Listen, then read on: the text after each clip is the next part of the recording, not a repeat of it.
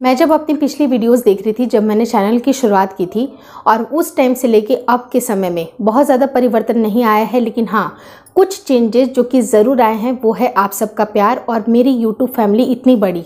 और आप लोगों का आशीर्वाद रहेगा तो हम एक मिलियन भी बहुत ही जल्दी टच करने वाले हैं तो बस सब्सक्राइब करते जाइए और मेरे वीडियोस को रेगुलरली ज़रूर देखिएगा।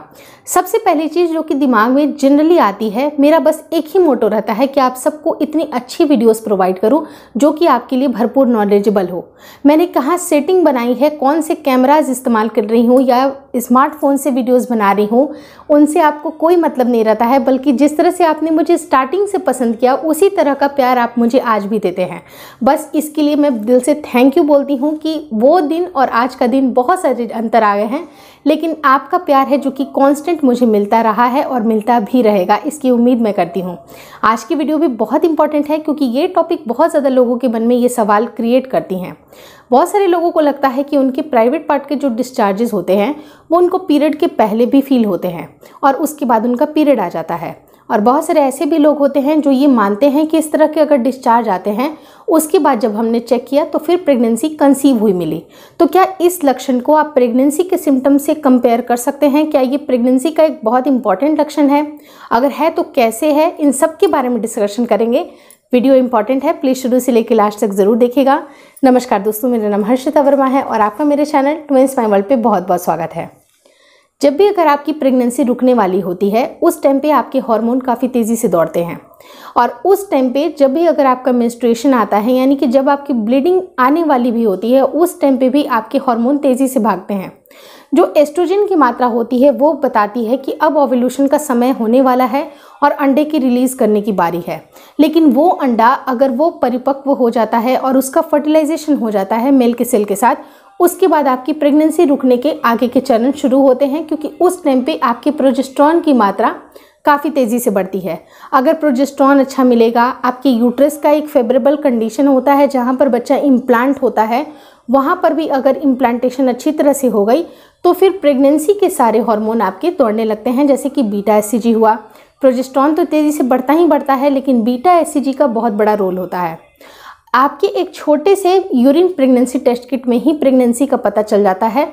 वो इसलिए पता चलता है क्योंकि बीटा एस का जो लेवल है वो तेज़ी से बढ़ता है और वो आपकी यूरिन सैंपल में भी आता है और उससे डिटेक्शन हो जाती है कि आपने प्रेगनेंसी कंसीव की है। लेकिन आज से कुछ साल पहले तक ये प्रेगनेंसी टेस्ट किट नहीं हुआ करती थी। लोग अपने कुछ डिस्चार्जेस के भी वजह से ऐसी अंदाजे लगाते थे कि शायद प्रेगनेंसी रुक गई है।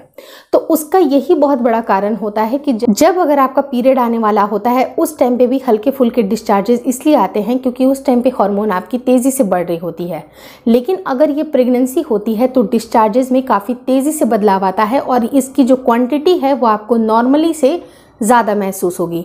वो बिल्कुल गाढ़ा वाइट कलर का द्रव्य हो सकता है जो कि आपके पीरियड मिस होने के दो तीन दिन पहले और मिस होने के बाद भी कंटिन्यू रहती है।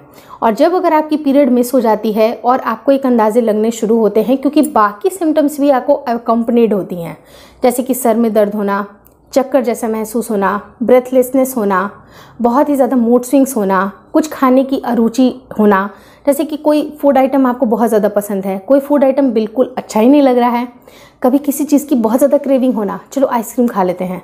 चलो मुझे बहुत ज़्यादा पिज़्ज़ा खाने का मन कर रहा है। कुछ भी एक पर्टिकुलर चीज़ जिसके बारे में आपको बहुत ज़्यादा क्रेव हो रही है तो उसी तरह की क्रेविंग अगर आपको फील हो रही है और अगर आपका पीरियड भी मिस हो गया है तो यकीन मानिए दोस्तों, आपकी प्रेगनेंसी के लक्षण हैं।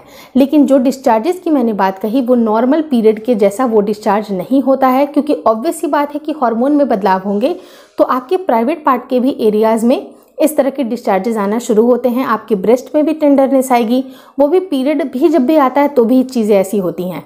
लेकिन जब प्रेगनेंसी रुकती है तो उस टाइम पे इसकी जो इंटेंसिटी होती है, वो बहुत ज़्यादा होती है। अब डिस्चार्जेस ज़्यादा भी होते हैं, और इन डिस्चार्जेस का यही अर्थ होता है कि प्रेगनेंसी रुक गई है। इसको हंड्रेड एंड टेन परसेंट आप प्रेगनेंसी के लक्षण मान सकते हैं।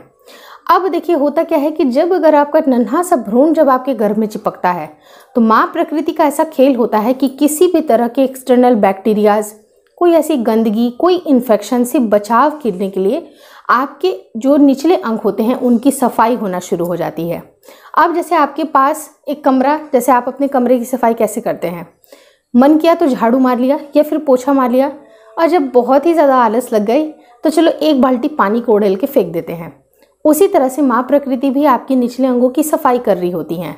अगर हल्की फुल्की भी बैक्टीरियल कोई इन्फेक्शन लगने के चांसेस हैं तो उस तरह की जो संरचना होती है आपके निचले अंगों की, वो आपको बैक्टीरिया वगैरह से बचाती हैं इन्फेक्शन से बचाती हैं, लेकिन जो डिस्चार्जेस इसलिए बढ़ जाते हैं, ताकि आपको कहीं पर भी, उस कैनाल में कहीं पर भी कोई इन्फेक्शन ना हो और आपके इंटरनल ऑस बंद हो जाते हैं।